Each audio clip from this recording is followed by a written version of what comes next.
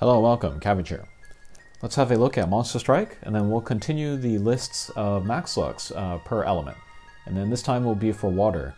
Uh, the previous one was for fire, and then um, in the beginning there I talk about like criteria and stuff, so you can look at that if you like. Uh, but just like as in the fire video, uh, first we will look at uh, Pierce uh, max luck monsters with the blast bump combo. And this is Holes Black, um, I made a video specifically about him. You can bring a bunch of uh, Lucifer and then just kind of uh, bypass the uh, gimmick that is in there, which you have to kind of manage which enemies are up or down. Uh, with Lucifer, you can mostly ignore that, so that makes the quest uh, pretty easy. Um, he has almost everything that I look for in a max luck. Uh, nice stats, high HP, high, high speed, and then he's a Pierce, he has got a triple null, uh, flight, no wind, no block, and then a blast bump combo. And uh, his triple null, it's the same as a Solomon Ascension, so they could be really good partners together. Um, so yeah, yet another reason to want to make this guy. Okay, one more uh, Pierce max luck with the blast bump combo is Koyuki Ascension. And then um, she is a Pierce with no warp, no block, and then the blast bump combo, of course. And then um, her quest is also not very difficult, and it can be very uh, fast if you bring the, uh, the right characters, um, especially uh, Pierce Wood characters with no gravity barrier. Um, Slayers help, so you can bring like Nightingale or um, Hanben, I think it is. Um, or you can bring um, Snowbow, she's good in there as well. And then another thing about Koyuki is that she has an evolution form, uh, which is excellent for Arcadia. And I actually did make the max luck of Arcadia with Koyuki as my uh, max luck. She has uh, some Slayers, which work on enemies in there, and then the Tackle Strike Shot will take down some of the guys in one hit, so it's pretty, uh, pretty useful. Koyuki can do uh, double duty for you with her two uh, max lucks. Okay, next, let's look at bounce characters with Blast Bump combos, the first one being Tiger. And then her quest is super easy. Uh, bring a lot of Arthur. Uh, there are a lot of like uh, turrets and uh, drones and things in that mission, so the more targets on screen, the more lasers will come out from Arthur, so you can get through that very, very quickly. And then uh, what I like about her, also high HP, high speed, uh, no gauge, uh, bounce with the blast bump combo. And then um, I have said this a few times recently, but I've really come to value again these very simple max looks. because more and more we're getting you know quests where there are no uh, gimmicks at all. Um, so yeah, just a nice max luck like this. Not as good as a Pierce, I would say, but once in a while you come across a quest with the uh, anti uh, Pierce guys, so you want to bring uh, somebody like Tiger. Okay, one other bounce character with the Blast Bump combo, and then actually she was not on my radar at all until I made this list, and that was uh, Lokia Ascension. Uh, but she is kind of similar to uh, Tiger, just a bounce with the single null and then no gauge. And that is uh, Minesweeper M in uh, Lokia's case. Um, so yeah, without the, uh, the gauge, uh, you can just use her very easily and quickly. that'll be great for easy quests. Um, she has an 8-way laser, which is good for filling the screen. And then the strike shot becomes a pierce and then goes through blocks. That can be interesting, but um, it's every 16 turns, which is not very often at all. Uh, Lokia, her quest is a little difficult, um, but like with so many other super extreme quests, the more of Solomon Ascension can bring, uh, the easier it is. Okay, next is another semi-recent uh, super extreme, and that is uh. Uh, actually, I guess she's the newest. uh, but she is a bounce with the no gravity barrier, null damage wall. Um, that as a double null is not one that you really need uh, to use both in like the same quest.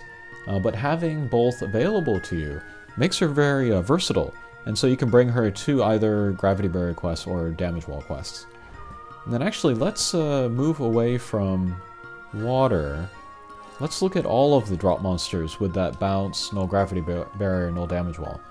And then looking at all of these characters, I think the greatest balance of like usability and then um, ease of making, Rikson might be the best actually. Uh, there is Ragnarok here, who is excellent but super duper hard to make. And then there is uh, Yoshitsune, who's not too difficult, but I don't think she's as good as uh, Rikson. Stats are low, and then although, although she does have the Meteor Strike Shot, uh, it's 30 turns, which is pretty long, and it doesn't do a lot of damage. And then there's like uh, Fudomyo, and then uh, Birthday, and then Dolly, who are not that usable. They're not very strong. Uh, but Rikson is pretty darn good.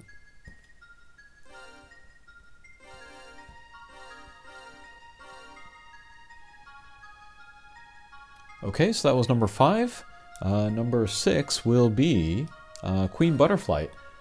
And then Queen Butterfly is solid. She's like good for a lot, like a lot of earlier quests. Uh, but she's also nice because she has the uh, the no gauge. I would say for recent quests she hasn't been very good. I probably haven't used her in maybe a year or more. Um, but you know, just uh, the ratio of like how difficult she is to make to how many like early quests she can go to. Uh, I think she's still worth making. So yeah, Queen Butterfly. Okay, next let's move into Impossibles and Colossals. And then uh, the next three are all available in the library, so you can play them uh, anytime. And the first one is uh, Bishamonten, who I still feel like is underrated uh, to this day. Uh, but she's a Pierce with no warp, no gravity barrier. Uh, that's a pretty rare uh, double null ability sling style combination. And then a meteor strike shot, so she's pretty good. And um, she might be the best pick for making the max luck of Kanon. Um, a lot of people do like uh, Karen, but she's a bounce, and I don't like using bounce characters in that quest. Uh, but Bishamonten is a Pierce, so that's nice. And then the Meteor Strike Shell is also very helpful, um, especially on the uh, last stage. So yeah, I would definitely make Bishamonten if you're wanting to make Kanon as well. Okay, one more impossible is Yamato Takeru Zero. Um, his quest is still difficult, um, but if you have like a very kind of specific team. Um, like I used a lot of um, Shinji Kaoru, and they were great because they have strong bump combo and then also the barrier. But yeah, if you can put together a team to, you know, get through his quest fairly consistently, then I would do it. And then like Nixon, he has a double null ability where you're not very often going to need both of those. He has no warp, no damage wall. Um, but, you know, just the versatility of being able to go to both of those type of quests uh, will be helpful. And then he does have a couple Slayers, so that uh, helps his damage uh, as well. Okay, next is the partner, and that is the regular Yamato Takeru. And um, his quest, you know, in the library, um, not too difficult with some of the modern characters, uh, but I still feel like he's one of the most fun missions in the game. Um, so yeah, if you haven't played him lately, uh, maybe that might be a fun idea to do. Um, overall, he's pretty solid. He has a uh, semi-strong bump combo, the lock-on one-way laser, uh, but it hasn't aged too well. Um, his strike shot is probably the better thing about him. He becomes a pierce. That makes him very uh, mobile, and then he can also do good damage. And then also, uh, Yamato Takeru is kind of the key uh, to entering that first set of uh, Colossal quests. Uh, he is maybe the best max luck for uh, Avalon. Um, and then uh, you can beat Avalon, you can use Avalon in Shambhala, you can get Shambhala and then use Shambhala in Nirai Kanai. And then, um, yeah, you are on your way to making those max lucks as well. Um, so yeah, Yamato Takeru, very, very strong. And then the final one, the number 10, is going to be Nirai Kanai. Uh, this guy's really, really good. Uh, colossal monster, so it will take some time to make him, but he is worth it. Um, I said pretty much the same thing about Arcadia, but yeah. Uh, he is pretty much uh, Hatcher monster level, and I use him a lot. And really, he might be one of the top 10 max lucks in the game, still. Um, I, he's over a year old, I'm sure, but still really, really strong. Okay, so those are my top 10 picks. And then uh, let's look at some uh, honorable mentions. Uh, the first one will be another impossible, not in the library, so it will be difficult to make her, but that is uh, Tai Shakuten, uh, Pierce with null gravity barrier and null damage wall. Um, her too, you're not going to need those two nulls at the same time very often, uh, but just her overall uh, versatility with those two will be nice. Okay, next we will look at some limited monsters. Uh, so yeah, unfortunately they're not available now, but if they ever appear again, if you can, it would be worth uh, making the max luck. Uh, the first one is uh, Shibami, uh, but she's just a Pierce with no damage wall, no gauge, and then the Blast Bump combo. There's no other water monster with this uh, ability set and Blast Bump combo, so she's one of my MVPs. I still use her. I used her today actually, so yeah, she's really good. And then the other one is uh, Kiss Kill Leela here, the Disney version. Um, she's a bounce with no warp and the no magic circle. Um, no magic circle is still very rare for drop monsters.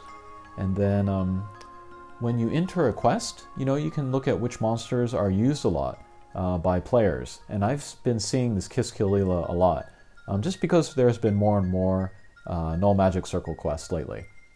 Uh, Kiss Kill Leela is not available right now, uh, but there is the uh, Yu-Gi-Oh collaboration going on now. There's another character in there that you can make the max luck of with no warp, no magic circle. So, yeah, if you miss Kiss Kill Leela, make that uh, other one in uh, Yu-Gi-Oh. Alright, but those are my picks for the top water max lucks. Uh, good luck with those. Uh, next, we'll look at Wood.